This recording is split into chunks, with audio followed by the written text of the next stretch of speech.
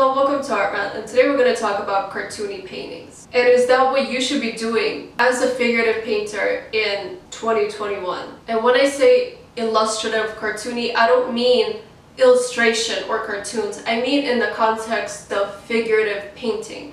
A painting where the figure or the environment or the anatomy doesn't look life-like. It doesn't look like it could physically be possible. It basically creates like a barrier between the viewer and it stops you from entering the space of the painting. Because as cool as it is it's not it's not real. You are not capturing life and you are not depicting life. You are painting your own kind of alternate reality. And the funny thing is when you are in art school this is so praised if you have a critique with a critic, even like an art, like a class critique, most of your fellow classmates, your teachers, and the critic that's there are gonna praise you for doing cartoony, caricature, not lifelike stuff. And I'm gonna sound, I'm gonna sound so bitter when I say this, but this is what I actually think is going on. Your work is getting praised by them. This kind of new individual, your own kind of vision style is getting praised for the wrong reason. The critics will praise you because it's something new to talk about. Not because your work is good, but because it's different. And I'll do a whole different video on how to deal with a critique from an art critic and what to take from it and what is like just just forget about it. So they will look at this kind of stylized work as wow this is great. And these tough guys will give you a good critique. The teachers will say yeah I love what you're doing this is great too. Because for a teacher, especially in art time, in figurative painting, who were they taught by? They were taught by abstract expressionists. So for them to do figurative work that actually looks realistic is like a big no-no.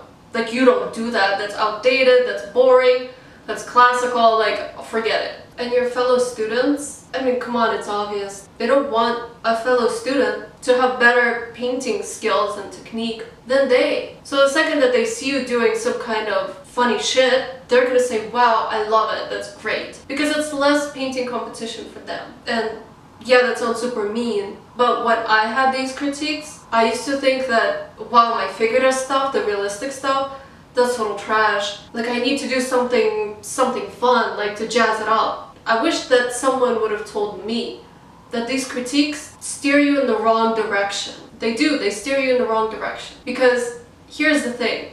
Okay, right now it's the trend. Right now the hottest selling artists are doing this. And for some people it works. But there are kind of two camps of painters. The atelier guys that actually went and studied and that can paint lifelike. And the people that can't paint. And I'm not saying anyone is better, but you gotta decide which side you are on if you actually can't depict reality and you're trying and you're trying and you're trying and it's all wonky, then yeah, you you are gonna have to make whatever painting ability you have work. And if you and if you enjoy painting this kind of exaggerated, funky kind of cartoony style, you are gonna have to do that because when you do that, it's a choice, and you will probably be successful at it because it's going to be your own style. No one else is going to be able to make a wonky painting like you. And if that's what you're good at, then do that. Because if you do the reality thing, it's it's never gonna work but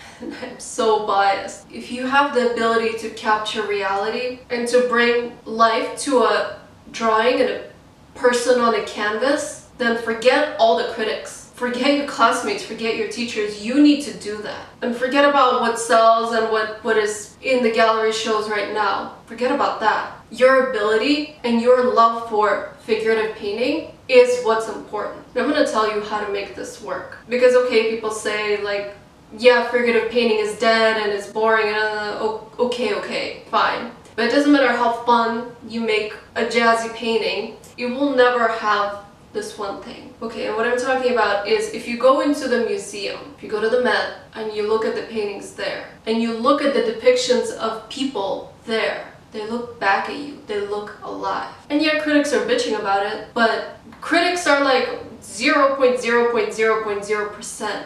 The rest of the people, it's it's like a sublime experience. they look at that that a person can take like paint like a liquid substance and capture life and give that to the viewer the ability to hold a moment still and to have this skill to capture reality and people are speechless. And that is not an effect you're going to get with cartooniness in figurative painting. It's not going to happen. And think about it.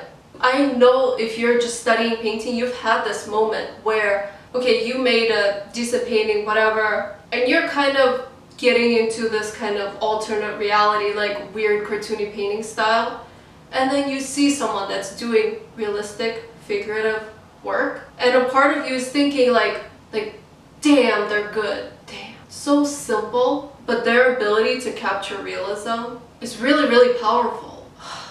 Can't even think, I'm like, I can't, I can't even speak, I'm like thinking about painting.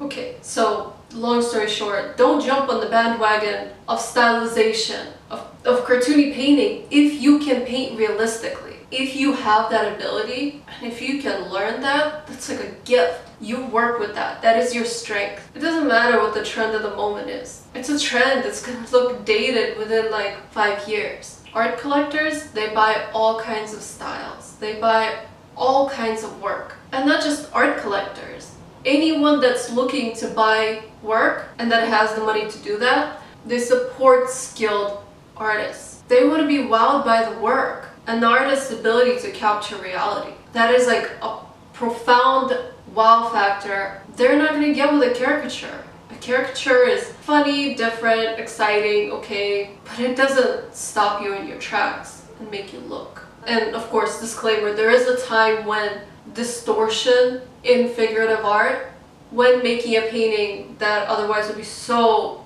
terrible and scary kind of funny because of the history and because of the time where you physically cannot paint what's going on around you because it is that sad because it's just like some terror. In that context context of war or something like that something tragic in that context caricature cartoon illustration works. And it's hard to explain that feeling, but in that time, that's when a lot of artists switch over to not depicting reality because reality is so bad. In that context, yes, historically, illustrative caricature, kind of fantastic painting works. So long story short, if you can do realistic painting, then that is your strength. And if you're just learning painting, then find teachers that can actually teach you how to paint realistically. If you have the patience to learn, and if you enjoy looking at life and depicting life, then that is what you need to be doing. You need to be painting with like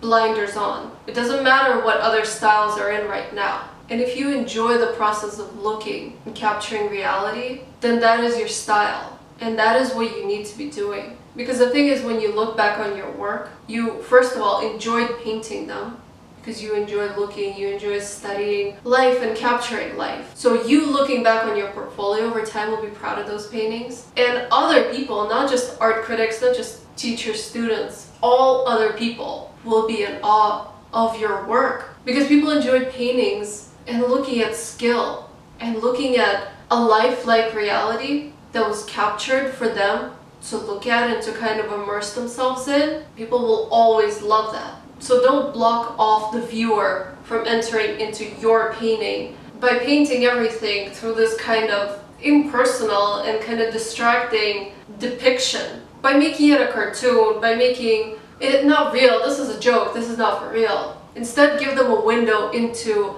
where they can look at life and capture life and show them plausible reality.